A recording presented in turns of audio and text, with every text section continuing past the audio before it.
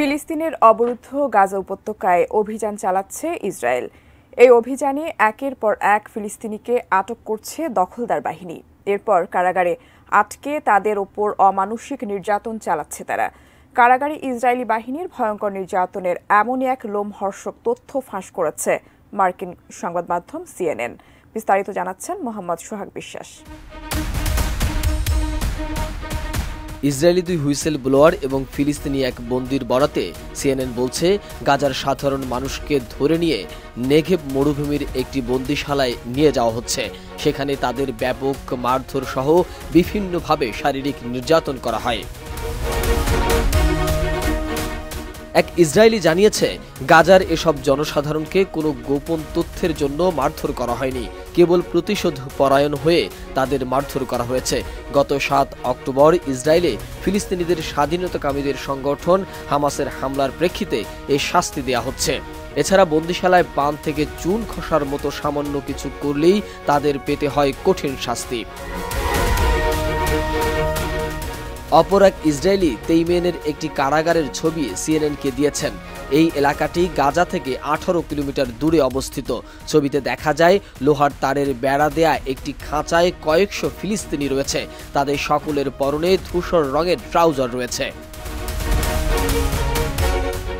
কারাগারে বন্দি থাকা এক ফিলিস্তিনি চিকিৎসক সিএনএনকে বলছে, তেইমেনের বন্দিশালায় প্রায় ঘুমন্ত ফিলিস্তিনিদের উপর কুকুর ছেড়ে দেয়া হচ্ছে। রাতের বেলা এভাবেই নির্যাতন করা হয়।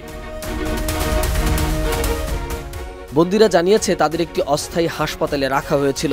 সেখানে তাদের শরীরের সব জামাকাপড় খুলে নেওয়া হয়েছে। এ সময় তাদের কেবল ডায়পার পরিয়ে রাখা হয়েছিল। এছাড়া ছোট পাইপের মাধ্যমে তাদের সেখানে খাবার সরবরাহ করা হতো।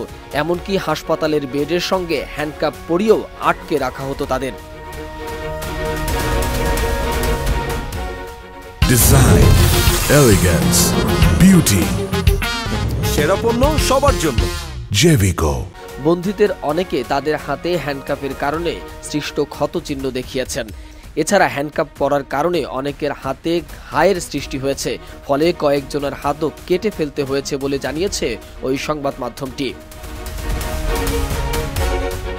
এক প্রতিবেদনে বলা হয়েছে, ছয় মাসের বেশি সময় ধরে চলছে হামাস ইসরায়েলের সংঘাত। শুরুতে দখলদারদের দমনে শুধু ফিলিস্তিনের স্বাধীনতাকামী সংগঠনের পরিকল্পনা থাকলেও বর্তমানে এতে জড়িয়েছে ইরান সহ আরও বেশ কিছু দেশ। তাই পাল্টা জবাবে নিরীহ গাজাবাসীর উপর হামলার মাত্রা বাড়িয়েছে ইসরায়েলি বাহিনী।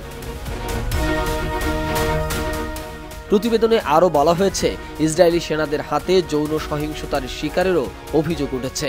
এখন পর্যন্ত হাজারেরও বেশি ফিলিস্তিনিকে মুক্তি দিয়েছে তেলাবিব তবে বেশিরভাগ অভিযোগ তাদের অমানসিক নির্যাতন চালিয়েছে ইসরায়েলি সেনারা।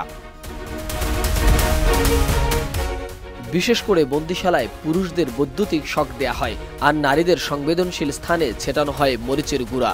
পাশাপাশি কুকুর দিয়ে আক্রমণ করানো হয় তাদের। এমনকি তাদের পর্যাপ্ত খাবার পানীয় দেয়া হয় না। এমন পরিস্থিতিতে গাজার ক্রমবর্ধমান মানবিক সংকট অবসানের আহ্বান জানিয়েছে জাতিসংঘ। মোহাম্মদ সোহাগ বিশ্বাস, ডেস্ক রিপোর্ট, এটিএন নিউজ।